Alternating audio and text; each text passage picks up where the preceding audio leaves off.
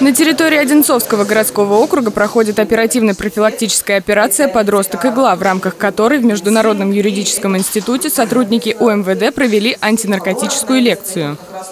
У нас очень остро в стране стоит проблема, связанная с распространением, хранением, употреблением тех веществ, которые мало того, что не добавляет здоровья, а прямо нужно сказать, ведут в могилу в конечном итоге.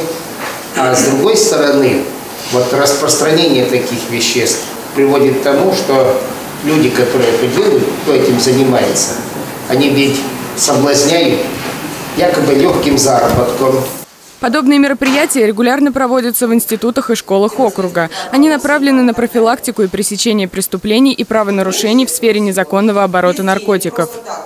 Побеседовали с подростками о вреде и профилактики да, употребления наркотических средств, вообще преступлений в сфере незаконного оборота наркотиков.